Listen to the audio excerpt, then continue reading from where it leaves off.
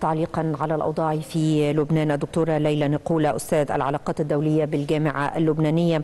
دكتورة ليلى يعني توسع أمد الصراع ونطاقه الجغرافي إلى هذا الحد في ظل تصريحات من وزير الخارجية الأمريكي يتحدث فيها عن ضرورة ضبط النفس ومنع التوسع إلى حرب إقليمية شاملة.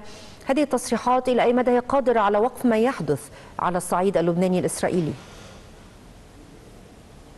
طبعا الوزير بلينكن يعني عندما يتكلم بهذا الموضوع هو يتكلم بواقعيه ولكن كما نعرف أن الأمريكيين يريدون أن يحافظوا على مصلحة اسرائيل بالدرجة الأولى خاصة الوزير الخارجية بلينكن الذي قال دائما أنه يأتي إلى أسرائيل بصفته يهوديا وليس امريكيا أو وزير الخارجيه الأمريكيين.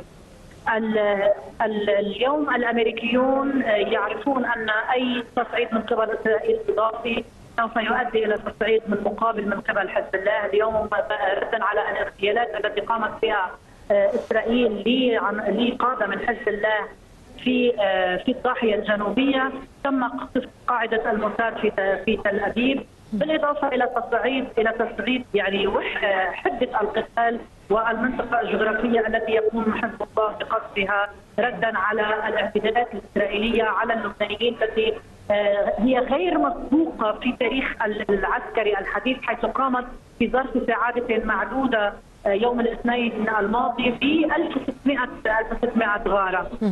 لبنان مستعد لأي تصعيد، لبنان لن لن يرضخ للتهديدات الإسرائيلية وبالتالي يمتلك لبنان كل مقومات القوة التي تجعله يستطيع أن يواجه العدوان الإسرائيلي عليه وبالتالي أي تهديدات إسرائيلية لن تبقى أذانا صاغية طيب. وإذا فرضت الحرب على لبنان فسوف سوف نخوضها كلبنانيين مجتمعين مع بعضنا البعض صحيح ولكن يعني الاستهدافات الأخيرة الموجعة لقادة حزب الله الميدانيين قادة ل يعني فصائل الحرب عفوا لا أسمعك بشكل تسمعيني الآن طيب. تسمعيني الآن دكتورة هل الصوت واضح؟